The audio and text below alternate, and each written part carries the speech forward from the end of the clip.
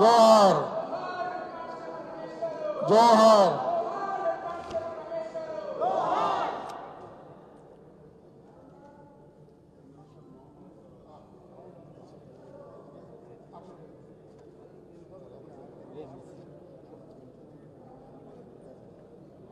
Constable Ramesh గారి ఆత్మకు శాంతి కలగాలని రెండు నిమిషాలు మౌనం పాటిద్దాం అందరూ నిశ్శబ్దంగా.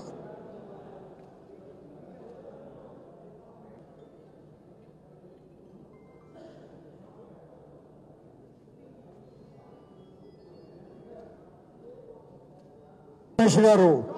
జోహార్ హెడ్ కానిస్టేబుల్ రమేష్ గారు. పోలీస్ హెడ్ కానిస్టేబుల్గా పనిచేస్తూ నారా లోకేష్ బాబు గారు చేపట్టిన యువగళం పాదయాత్రలో విధి నిర్వహణలో ఉంటూ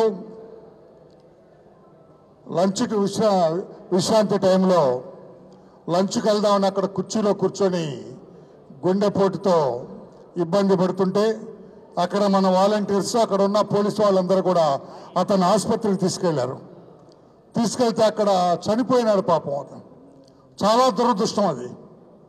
చనిపోవటం అనేది చాలా దురదృష్టం అది. ఎందుకు చనిపోయినారు? నేను ఈ రోజున అడుగుతున్న director general mister Kasireddy Rajendranath Reddy గారిని ఎందుకు చనిపోయారని ఏమైనా మీరు విశ్లేషణ చేశారా? అతని మీద ఎంత స్ట్రెస్ ఉన్నది మీరేమైనా ఆలోచన చేశారా? ఎందుకు అతను గుండెపోటుతో చనిపోవాల్సి వచ్చింది? మీరు ఎప్పుడన్నా అవగాహనతో మీరు ఏమన్నా అందరిని అడిగి తెలుసుకుంటారా?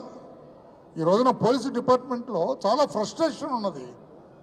కానిస్టేబుల్ దగ్గర నుంచి ఏఎస్ఐ వరకు కూడా వాళ్ళకి రావాల్సిన సరెండర్ లీవ్ రావటం లేదు.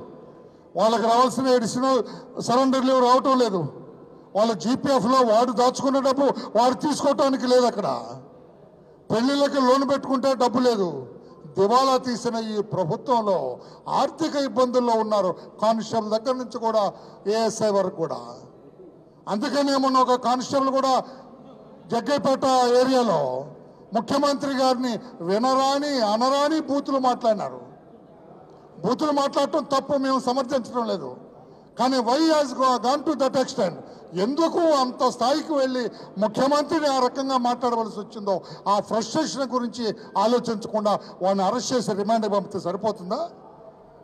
ప్రజాస్వామ్యం ఉన్నది కనుక తెలుగుదేశం పార్టీ ఆ బిడ్డకు అండగా ఉంది. మేము అడిగాము ఎందుకు ఇలా మాట్లాడాడో చెప్పుకొచ్చాడు వాడి బాధలన్నీ కూడా వాడి ఇబ్బందులన్నీ కూడా. అందుకని పిల్లిని రూమ్లో పెట్టి కొడితే ఆ పిల్లి పులిగా మారుతుంది. ఆ విషయాన్ని గ్రహించాలని చెప్పి కూడా తెలియజేస్తూ ఈనాడు సోదరుడు హెడ్ కానిస్టేబుల్ రమేష్ గారు. అదొక మేము బాధ్యతగా భావించాం.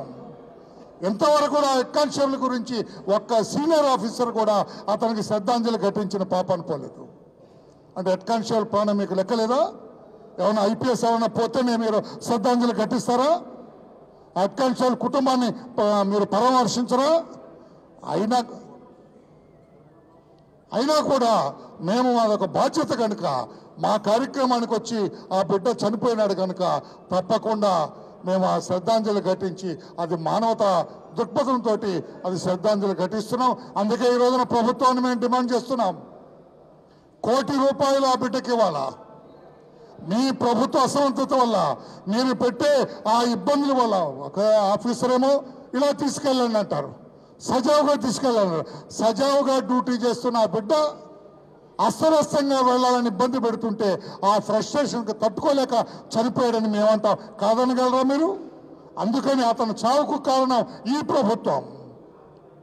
అతను చావుకు కారణం ఈ ప్రభుత్వం ఈ ముఖ్యమంత్రి అని చెప్పి తెలియజేస్తూ అతని కుటుంబానికి కోటి రూపాయలు ఎక్స్గ్రేషియా వెంటనే అందించాలని చెప్పి కూడా ఈ రోజున తెలుగుదేశం పార్టీ తరఫున డిమాండ్ చేస్తూ ఈ రోజున అధినేత చంద్రబాబు నాయుడు గారు మా పార్టీ అధ్యక్షులు గౌరవ అచ్చెన్నాయుడు గారు కూడా ఏది ఏమైనా సరే ఆ బిడ్డకు మన పార్టీ కార్యాలయంలో ఆ పోలీస్ హెడ్ కానిస్టేబుల్ ఎవరైతే చనిపోయారో విధి నిర్వహణలో అతనికి శ్రద్ధాంజలి ఘటించాలి మన పార్టీ కార్యాలయంలోని ఎన్నడూ లేని విధంగా ఈ రోజున పోలీస్ హెడ్ కానిస్టేబుల్ రమేష్ గారికి పార్టీ కార్యాలయంలో శ్రద్ధాంజలి ఘటిస్తున్నాం. దానికి మేము గర్వంగా ఫీల్ అవుతున్నాం. హెడ్ కానిస్టేబుల్కి శ్రద్ధాంజలి ఘటించడానికి. ఇంతవరకు ఎక్కడ కూడా పోలీస్ అధికారులు ఎవరు కూడా శ్రద్ధాంజలి ఘటించిన పాపాను పోలేదని చెప్పి కూడా తెలియజేస్తూ ఆ బిడ్డకు ఆత్మకు శాంతి కలగాలని కోరుకుంటూ కోటి రూపాయల ప్రభుత్వ ఎక్స్గ్రేషన్ ఇవ్వాలని డిమాండ్ చేస్తున్నాం.